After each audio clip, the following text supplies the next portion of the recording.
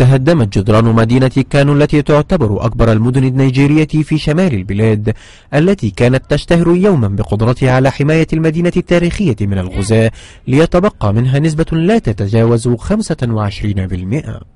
تمتد هذه الجدران على مسافة 23 كيلو مترا بارتفاع 10 أمتار ونصف وأساس يبلغ عمقه 8 أمتار. ووصلت هذه الجدران التاريخية إلى هذه الحال بعد عقود من الإهمال وعدم الترميم.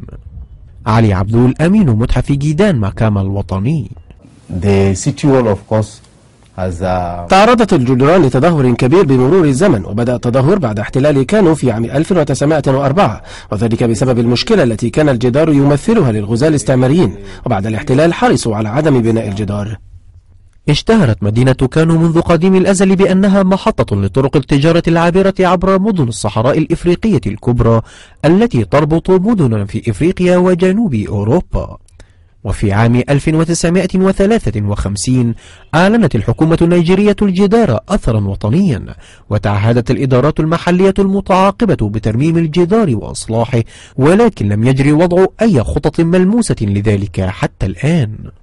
وتحولت أجزاء من الجدار إلى أماكن لإلقاء القمامة فيما احتل آخرون أماكن منها بطرق غير قانونية لبناء منازل متاخمة للجدار لتزيد عمليات الحفر ونقل الرمال من الخراب الذي حل به. ويعتبر كثيرون من سكان مدينة كانوا الجدار جزءا مهما من تاريخهم إذ يأملون أن تقوم السلطات بأي شيء لإنقاذ ما تبقى منه للأجيال المستقبلية. محمد الجبالي Reuters.